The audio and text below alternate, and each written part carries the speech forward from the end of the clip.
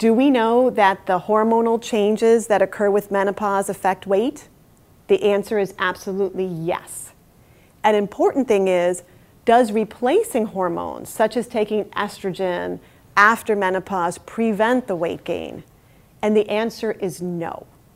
The reason I know this is when I came out of medical school 20 years ago, really the prevailing thought was that women should take hormones after menopause to protect their bones and to protect their hearts because it was felt that women had less heart disease and stroke and less osteoporosis uh, be before menopause and it developed after menopause. So it must be the hormones that are going ahead and protecting women.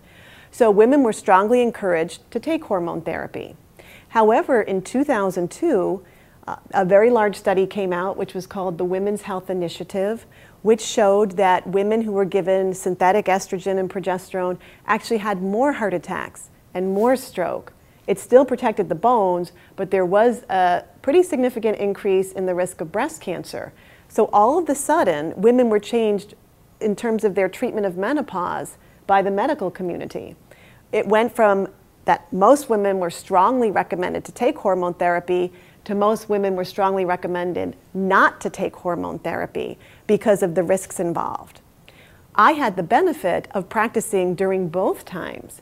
So my patients I saw prior to 2002, most women in their 50s were on hormone replacement therapy and still struggled with this 30 pound of weight gain. Most women I see now don't take hormone therapy. Some do, but they take it for shorter periods of time, and the weight problems persist regardless. Um, many studies have shown that replacing the hormones does not prevent the weight gain, but something is obviously going on. So, what is it?